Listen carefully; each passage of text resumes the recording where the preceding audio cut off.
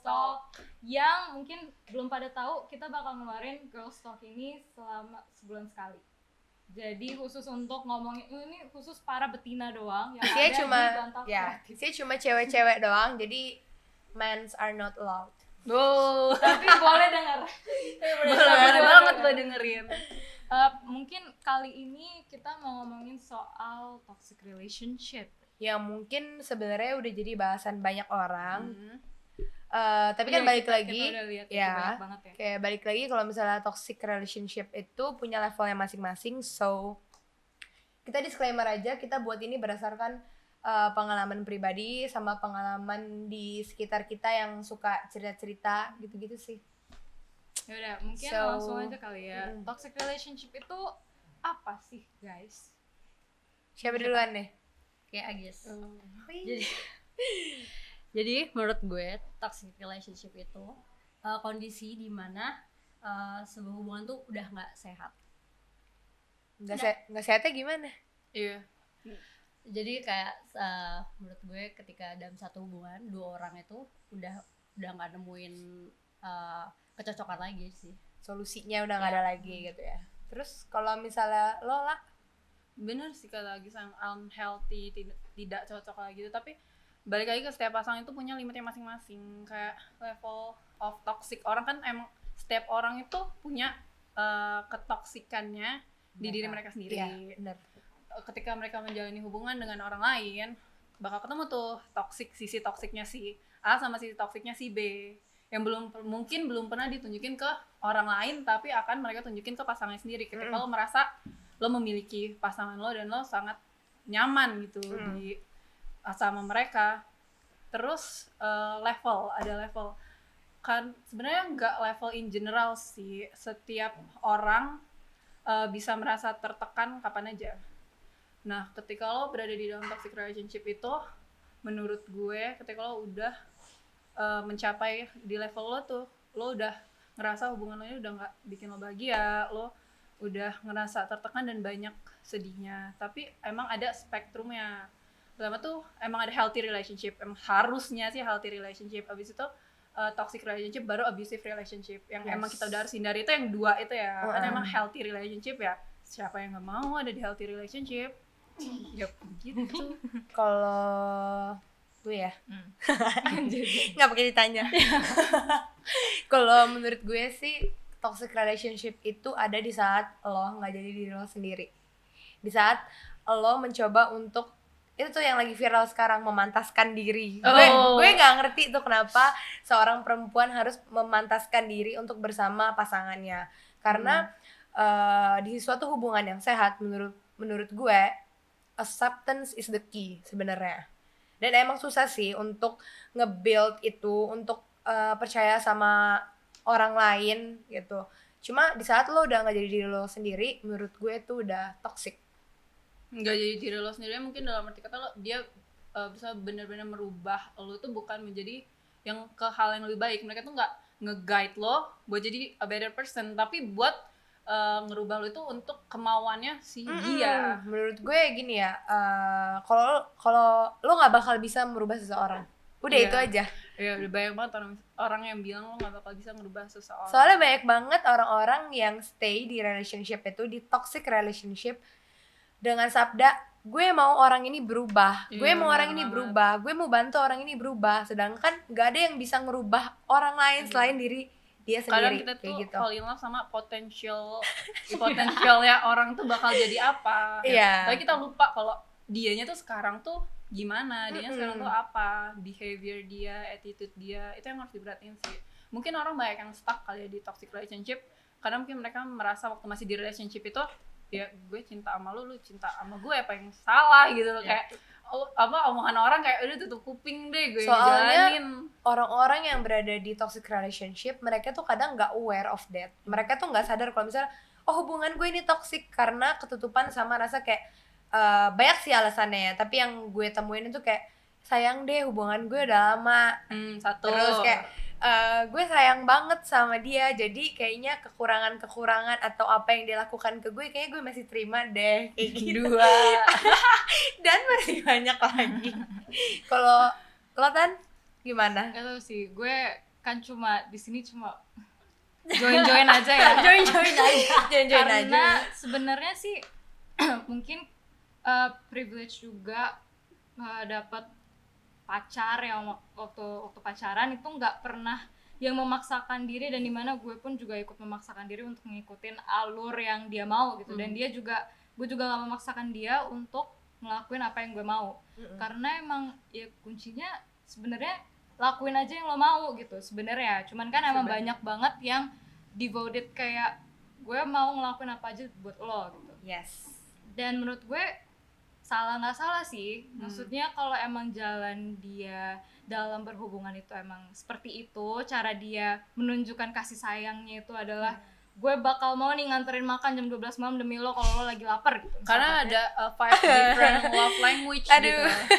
jadi guys ada five Iya. different love language jadi Yes. orang itu mencintai dengan cara yang beda-beda saya gue mencintai seseorang dengan act of service berarti gue suka uh, nemenin dia nih ke mana-mana gue suka Iya. ngelakuin sacrifice apa pun kayak action action ke dia tapi dia uh, bukan act of service Mm-mm. tapi nanti kita mikirnya kayak kayaknya dia nggak sayang deh sama gue Eh, makanya Gitu.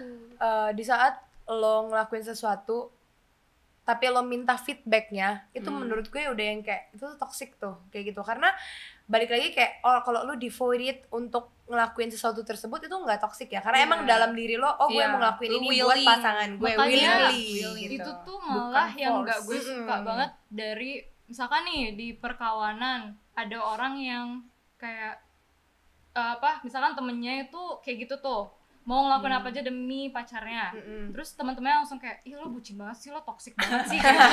padahal Dia ya willingly, aja iya. gitu dan juga yang ceweknya juga ya biasa aja kalau lo mau nganterin nganterin kalau enggak enggak gitu Iya. misalkan cewek atau cowoknya gitu sama aja dan bukan emang dijadikan suatu keharusan cuma emang emang dia willing aja oh gue mau eh, ngebahagiain pacar gue Hmm. dengan hal eh, dengan cara yang seperti ini Iya. dan orang-orang tuh kayaknya nggak bisa ngejudge deh untuk kayak lo toxic banget lo bucin banget gitu loh beda-beda karena menurut Iya. gue nggak ada tolak ukur ya sih seorang Iya. itu dinilai bucin atau toxic Mm-mm, bener nggak nggak ada tolak Se- ukurnya iya. maksudnya jadi kalau emang iya. kalau emang dia willing ya, ya kenapa? udah uh-uh. gitu salah dia apa? Iya bener. Gue tuh kuncinya sih kalau bukan lo yang ada di dalam narasi itu ngapain ikut-ikutan? Maksudnya eh, kasih saran boleh tapi kan lo nggak tahu fullnya sih Cuma apa yang dilaluin antara dua orang itu ya kan maksudnya? Iya, tapi cuma- kalau ya cuma cuma tapi kalau misalkan Eh, kasih waktu. apa? Enggak enggak deh dulu.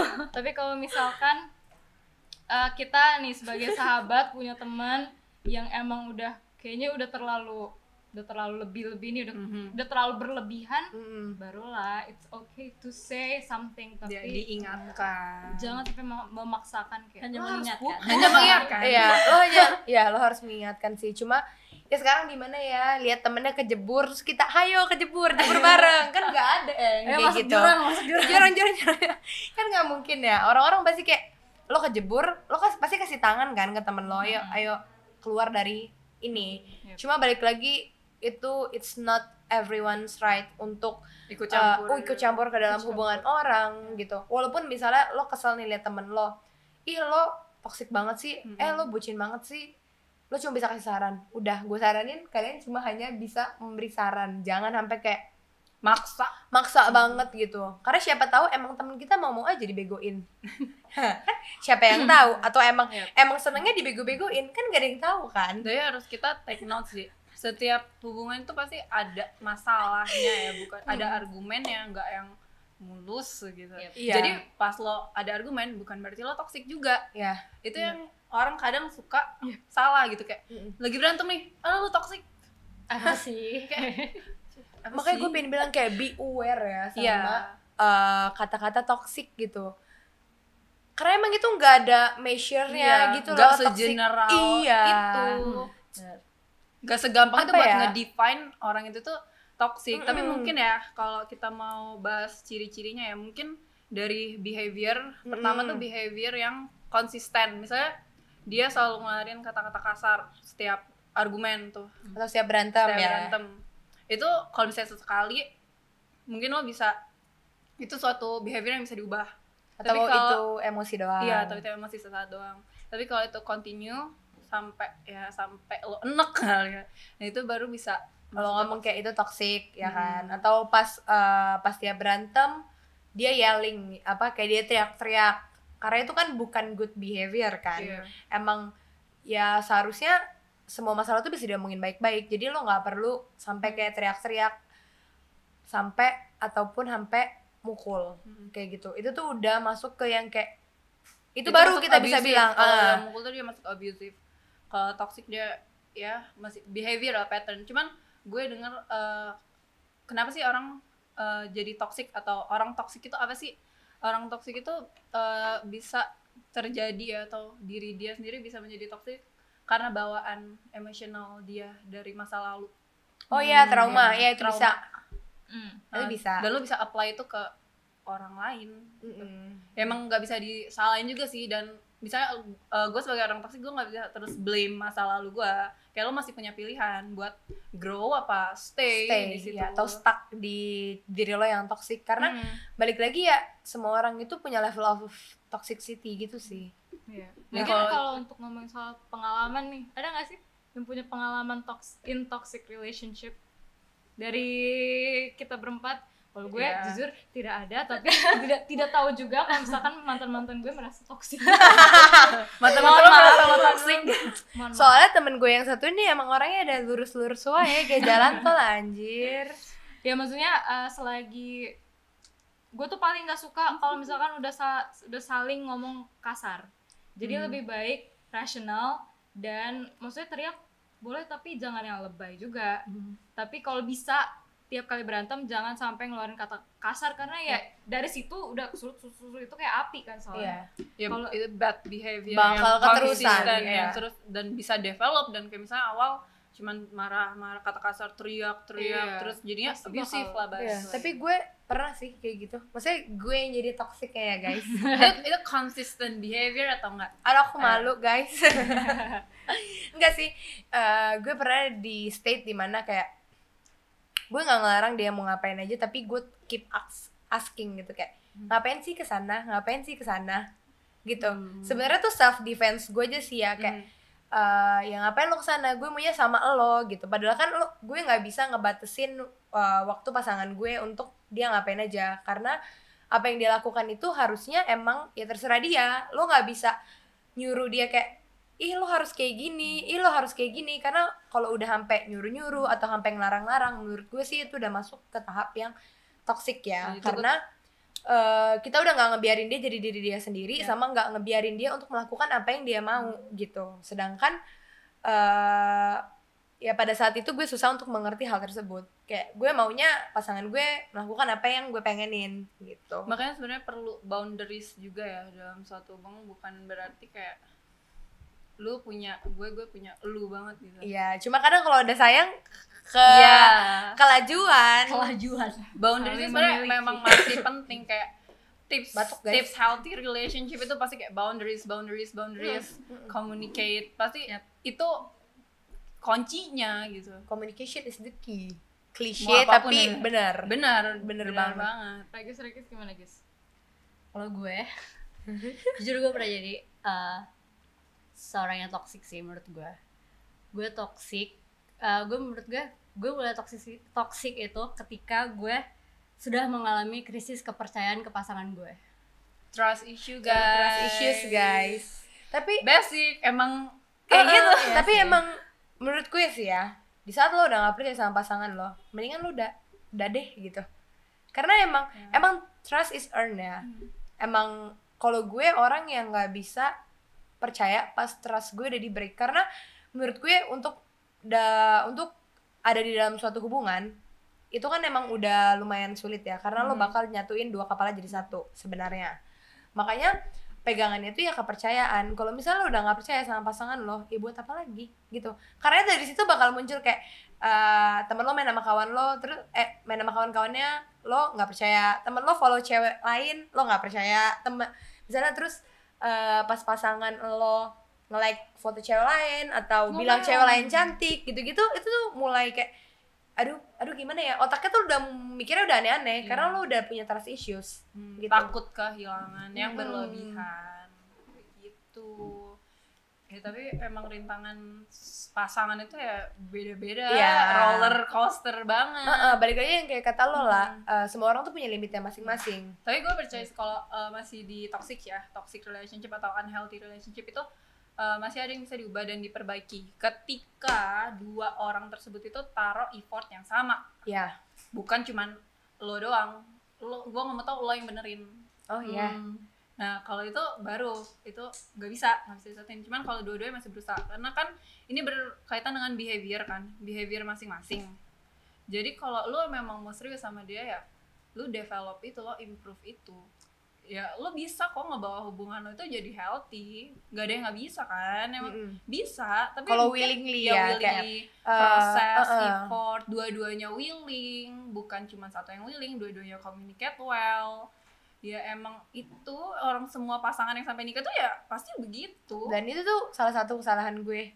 Kayak maksudnya gue tuh dulu selalu mikir kayak gue di saat gue berjuang itu menjatuhkan harga diri gue. Sebenarnya. Self ego.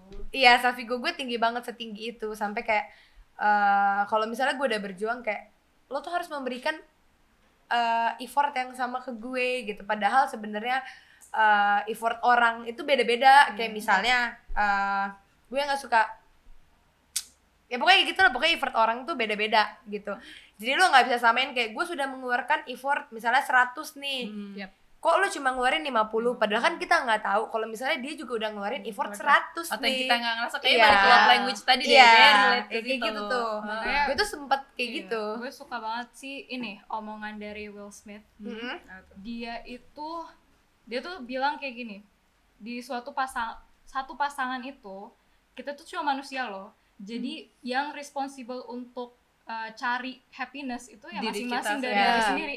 Tapi Ya. kalau mau saling berpasang-pasangan, ya cari happinessnya masing-masing, lalu gandengan bersama untuk tujuan yang Tujuan. sama. Tapi bukan berarti tujuannya selalu sama kan? iya Jadi jangan pernah kayak dipaksakan kayak lo harus sama tujuannya sama gue kayak gitu. Biar gue Benar. happy kayak Iya. gitu. Iya, Padahal iya. emang orang itu bakal sama pemikirannya dan bakal willing. Oke, willing di awal doang. Pasti lama-lama nanti bakal berantem Iya. kayak, kayak capek akhirnya. karena dia memaksakan diri Iya. kayak Memaksakan. eh, dari awal kayak iya iya aku nurut kamu kok aku Hmm. nurut kamu kok tapi sebulan dua bulan tiga bulan kayak anjir gue capek banget nih dalam hubungan baru lo, tersebut lo sadar bukan lo Iya. harusnya bukan nurut tapi emang lo komit gitu Iya lo komit Hmm, bukan Tapi- cuma sekedar iya iya iya lo beneran maksudnya lo bukan- emang beneran bukan pengen sekedar cuma di mulut doang iya oh, iya. oh, oh, iya Mm-mm. Ya, maksudnya ya jangan jangan kayak ya udah nggak apa-apa gue pura-pura di awal terus nanti Mm-mm. di akhir baru kerasa deh terus kayak baru deh teriak-teriak ke pasangannya kayak lu nih juga nggak nggak apa dari ya awal kamu nggak nggak ngertiin fair ya aku sama gue gitu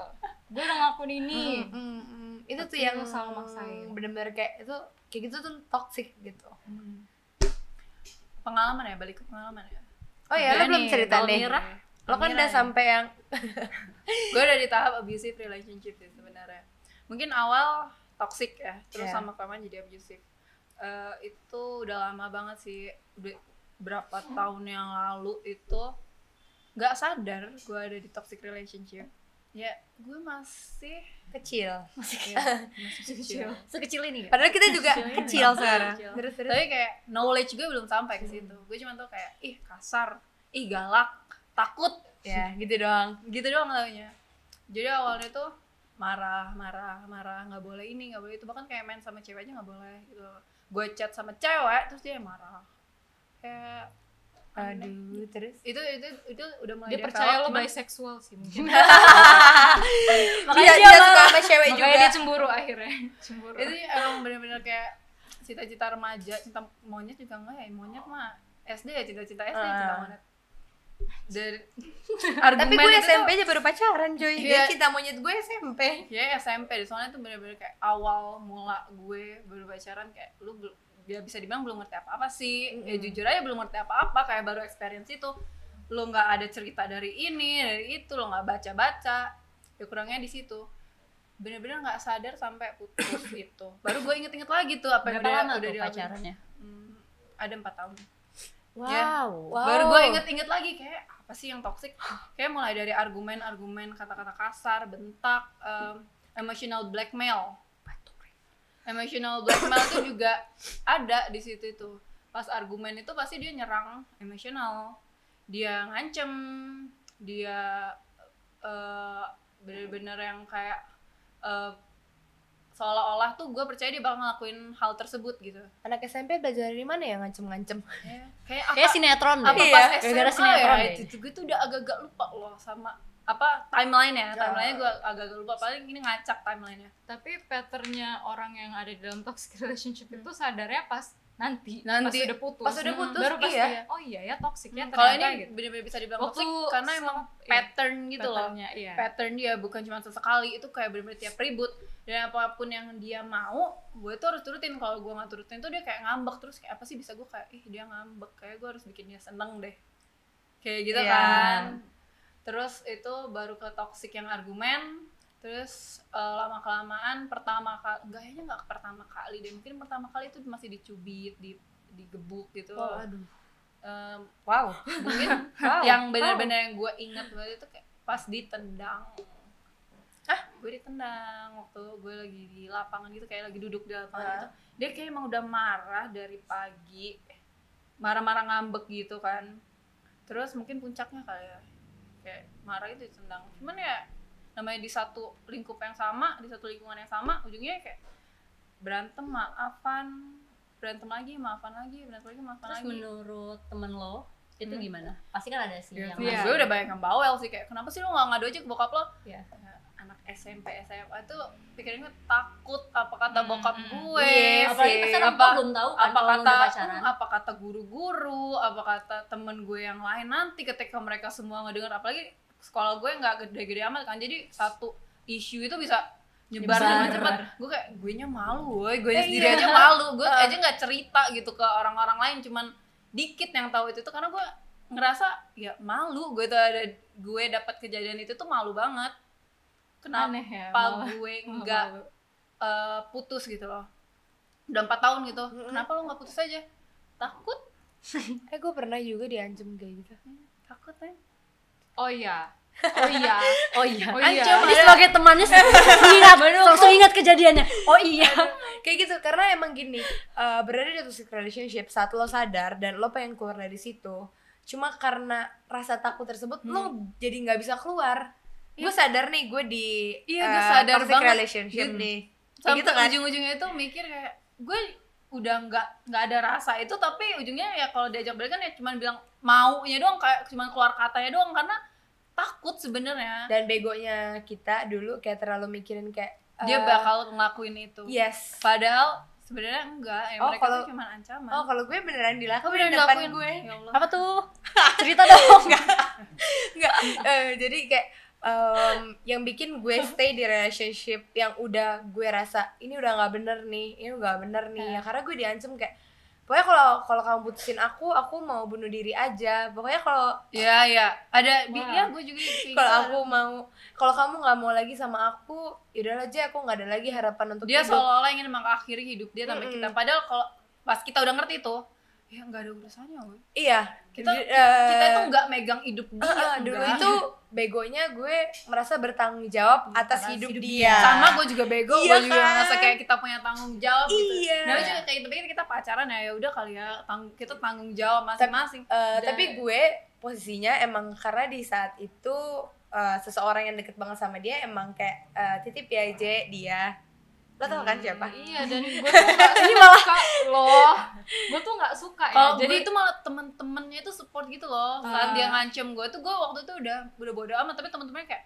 kasihan kasihan kasihan gitu. Kayak oh kalau gue enggak temen ya gue udah ya, Pokoknya- mana? maksudnya ya lu tuh jahat banget malah di posisinya. Lo siapa pun lo yang kalau misalkan di dalam suatu relationship eh, misalkan seseorang ini eh, mau apa pergi dari hidup lo gitu. Dan lo ngancepnya ngancepnya adalah gue nggak bisa hidup tanpa lo Iya. jadi gue lebih baik bunuh diri atau gimana. Mohon maaf gitu. Jangan itu tuh malah hal yang terjahat sih. Iya itu maksudnya lo bener-bener cuma mikirin apa yang ada sesaat doang nanti pas lo lakuin itu gue yakin deh kalau udah meninggal nanti ya. Mohon maaf nih buat yang pernah bunuh diri. Soalnya gue pernah pernah pernah ada kan yang di CGV itu. Iya. Oh, Enggak, enggak, itu- bukan, itu bukan bukan, itu, bukan, bukan. bukan karena itu, bukan, bukan bukan karena itu itu cuma isu yang beredar aja. Oh iya. Oh dapat hoax ya, ya dapat dapat hoax. dapat hoax. Udah lanjut lanjut pokoknya buat Ya, tahu siapa pun juga. yang ya gue feel ingin mengakhiri hidup mereka gara-gara cinta itu sebenarnya Iya. tidak baik Iya. feel sorry tapi ya gimana ya jadinya bukan salah orang itu gitu Hmm, Tapi emang Iya, ada diri lo sendiri yang nggak bisa kontrol emosi lo. di posisi itu. Cuma emang di saat lo kena yang kayak gitu kayak gue mau bunuh diri karena lo dan at that moment lo merasakan misalnya gue pernah sayang nih sama orang ini gue gue sayang nih sama orang ini itu tuh bener-bener yang kayak it hit bener-bener gue jadi depres loh karena karena Iya, hal iya. tersebut kita Sebenernya- ikutan depres Iya, gini lama-lama yang ada di otak gue bukan lo yang mati, gue yang mati karena lo tekan gue terus kayak Iya. gitu kan, Yep. kayak karena dia sampai ngelakuin itu loh di depan gue, kayak bayangkan saja teman-teman kayak bener-bener eh, banyak banget ada orang yang ngadu ke gue juga kayak jadi dia sampai cut his wrist kayak Iya. gitu berdarah terus bilang kayak ini ini karena gue ini karena gue galau gara-gara JJ lo bayangin aja Temen kita juga pernah kayak gitu. harusnya nggak kayak gitu Temen kita juga pernah kayak gitu. Enggak, kayak gitu. Lo bayangin gue gue berada di mental state yang benar-benar anjir gue harus ngapain? Gue Mhm. gue udah nggak cocok nih sama dia, gue udah nggak sayang nih sama dia, tapi dia mau mati cuy gara-gara Iya. gue. jadi lo merasa harus bertanggung jawab Iya. ya. Tapi kayak finally pas gue keluar dari dan gue berusaha untuk tutup kuping dan tutup mata kayak yes I'm I finally free gitu. Mm-mm. Relief banget ya. Ya emang gue mungkin uh, sometimes bakal keinget kayak eh dia beneran jadi bunuh diri gak sih? Kayak gitu. Cuma kayak ya udahlah bodo amat. Gue berasa uh, gue m- berusaha untuk tutup kuping dan tutup mata untuk kayak ya udah terserah. Gue udah gak ada hubungan lagi sama Yep. dia. Sampai gue chat orang terdekatnya. Karena orang terdekatnya tuh sangat support gue dengan dia gitu. Kalau gue pesan buat orang-orang yang emang uh, depres soal relationship mereka? ataupun apa pun sih menurut gue. Hmm. jangan pernah lo nyakitin diri lo sendiri apalagi badan lo gitu loh. Menurut gue lo tuh udah nyakitin perasaan lo nih batin lo dengan tersiksa dengan masalah tersebut. Sebagai Jadi jangan sampai- mental health Iya. sih. Mungkin memang ada orang yang melakukan hal tersebut karena mereka satisfied. Itu Hmm, ya lo benar harus seek sih. for help. Sebenarnya kita nggak bisa kayak cuman warn warn warn warn Iya. doang tapi kayak lu harus mencari professional help itu ya ke Yep. apa kalau kita konsul sebenarnya relationshipnya juga bisa konsul loh ada couple Iya. consult gitu Dah, jadi counsel. eh, terakhir nih ya, buat eh, pesan dari kalian untuk orang-orang yang berada di Hmm. toxic relationship.